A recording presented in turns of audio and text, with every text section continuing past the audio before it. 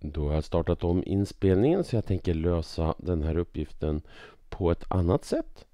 Och Det sättet då det har att göra med att jag ser att den här parentesen x minus 3 och den här parentesen som finns här de ser ju likadana ut. Så det jag börjar med att göra är att faktorisera ut den här parentesen x minus 3. Så om jag gör det så får jag x minus 3 inom parentes och sen får jag en ny parentes. Och det som finns kvar då ur den här första termen det är tvåan och en till sån här parentes x minus 3. Sådär. Sen har jag ett plustecken. Och den här parentesen har jag tagit bort så det som finns kvar det är den där parentesen. Så får jag x plus 5 då inom parentes. Så. Och det här är lika med 0. Det här blir noll när antingen den ena parentesen eller den andra parentesen är lika med noll. Den här första parentesen den blir noll när x är lika med 3. Så här får jag ut den första lösningen väldigt snabbt.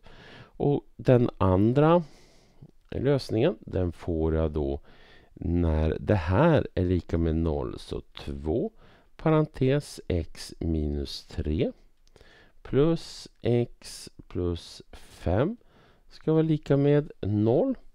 Och så sen så har jag 2 gånger x här. Jag tar och löser ut vad x blir. Så får jag 2x minus 6. 2 gånger minus 3 är minus 6. Sen blir det plus x plus 5 är lika med 0. Jag har 2x där och 1x till så har jag 3 stycken x.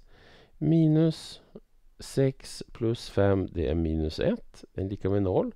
Jag adderar 1 på båda sidor så får jag 3x är lika med 1 och sen dividerar jag med 3 på båda sidor så får jag att x är lika med en tredjedel. Så, så svar då, och det där är min andra lösning.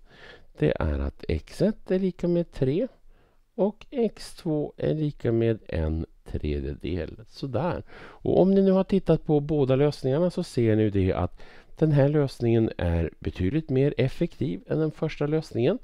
Det som krävs i den här lösningen är att man ser att man har en gemensam faktor här i uppgiften som man kan faktorisera ut och göra det här första steget. Har man sett det så blir resten av lösningen betydligt enklare än den första metoden.